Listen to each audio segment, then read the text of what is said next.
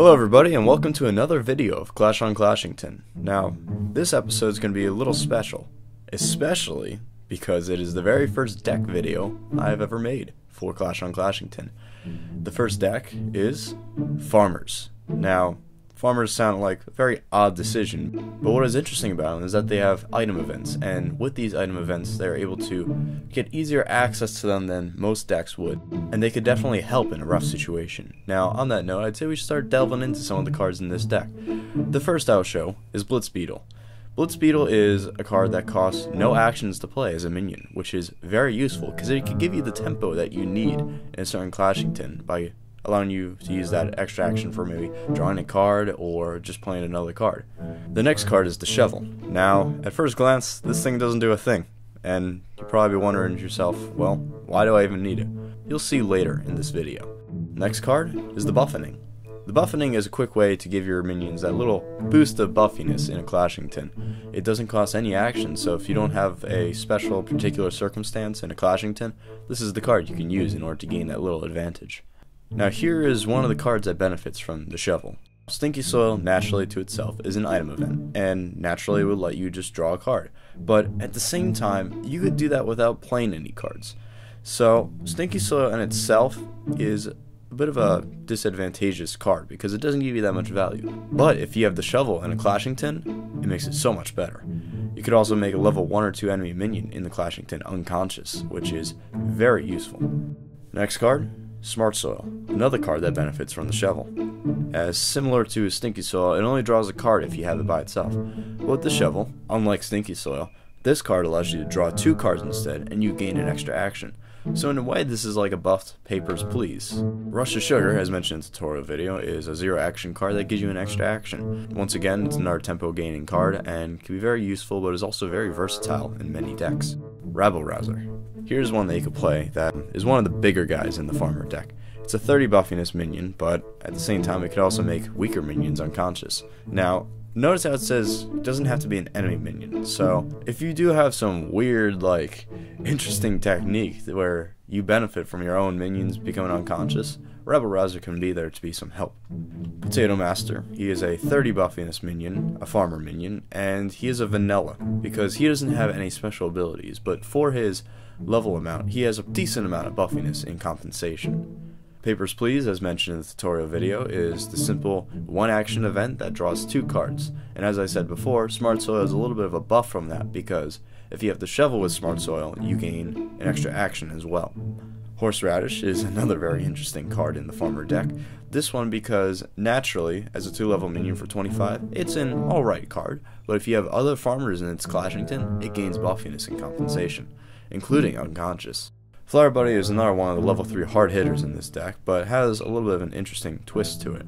When he is played, you can place a Bud minion counter, basically another minion, and as noted here, it's going to be a plant minion level 1 with 10 Buffyness, in another Clashington. So in a way, it could be like a Blitz Beetle, but you could also strategize with it. Uh, if another Clashington is very weak at the moment, it will give you that extra Buffyness. Dirt Speaker is another very interesting card and is one of the very first cards to bring advantages from slapping out minions. Now slapping out in general could be a very advantageous ability, but with Dirt Speaker it becomes all the better. With 15 Buffyness for level 1, he's an alright card just like Horseradish, but if Dirt Speaker is slapped out, the slapping minion gains 10 Buffyness. So in a way, slapping him out brings even more benefits than the typical slapping out would. Cannonball Buster. Don't be afraid by all the text in the bottom because this card can be very useful. At zero actions, it's very efficient in bringing you that tempo, but at the same time, it takes a little time to set up. As you can see, at the beginning of your turns, you put powder counters on Cannonball Buster.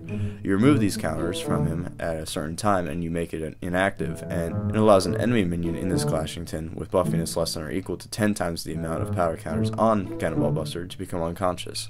So, it takes a little while to set up, but it's useful to play early on in order to get that big advantage. Bugging Beetle is a very interesting card, I must say.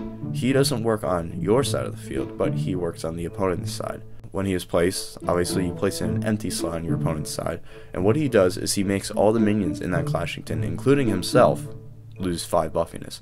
So it keeps them still conscious at a simple mere 5 Buffyness, but at the same time, overall, you'll be getting the advantage if your opponent has a lot of minions in that Clashington. Playing him in the other opponent's Clashington does still cost you an action, but it has to be in an empty slot as well. And an empty slot can be anything from just a slot with no minions at all in it, or nothing but unconscious minions. It can't be in one with a conscious minion. Veil Fishies, another zero cost item circumstance card that can be advantageous over time, but this card is a little different from Cannonball Buster in the sense that it's more of a desperation type of card. You can spend an action in this Clashington to place Fyshie minion counters, which have 10 Buffyness, just like the bud counters from Flower Buddy, into the Clashington. So, if you don't want to draw a card in the Clashington and instead try to play something but don't have that many cards in your hand, you could use this instead in order to keep in that tempo in a way, even though it might be a little bit of a drawback at the same time.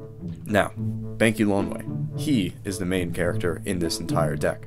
He is what is known as a VIP Fahrmur minion. VIP means that you can only have one of this minion on the field at any time. So basically, either side of the field, even your opponents, say if you two had Banky Longways in your deck, whoever plays it first, the other opponent can't play it unless Banky Longway becomes unconscious on one side of the field. You must also keep in mind that uh, for VIPs, they work a little interesting because although VIPs can be unconscious on the field, say if you had more than a single Banky Longway in your deck, and the reason why you'd probably have that is because you want to have him out more often on the field. What you would do is if you played a new Banky Longway when another one in your field is unconscious, you would take the one on your field that is unconscious and put it into your torn up pile, then play the new Banky. The reason why it is like that is because in case there are any effects that would make things from unconscious go conscious again, it will make sure that there's none of the two same card on the field.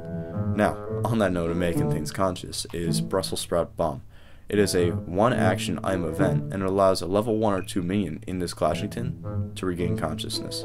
Now, like again, it could be your own or your opponent's, but obviously I recommend with your own minions. You must also keep in mind that if you have a conscious minion in a slot and you make one of the unconscious ones below it conscious, it would only work if it is able to slap out the minion that is currently conscious. If you have an empty slot, it doesn't matter just because there's nothing there at the moment and it just makes the unconscious conscious again. The last card I will be introducing in our deck is Almanac's Fahrmur. Almanac's Fahrmur is another 15 Buffyness Fahrmur minion, but what is interesting about this is that it allows you to search your deck for a non-item circumstance, such as the buffeting, or even a soil card, such as Stinky Soil or Soggy Soil, and put it into your hand. Now, although it doesn't really give you the power that most vanilla cards would give, it gives you that little tempo in the sense that you get more cards, and you also get to choose which cards you want. That is all the cards that are introduced in this Fahrmur's deck, and I'd like you guys to test it out, play with it as much as you can. You can even switch up the cards a bit, like say if you didn't want three Potato Masters, if you only want two, and you want more of another card, you could do that. I will have all the individual card images in the Dropbox, and please check the link below because that will give you not only the PDF for the original Fahrmur's deck, but it will give you access to all the other individual cards as well. And that is also where I'll be putting all the other cards as they come along, especially weekly updates and newer upcoming decks. From that, I just like to wish you all good luck and keep on clashing.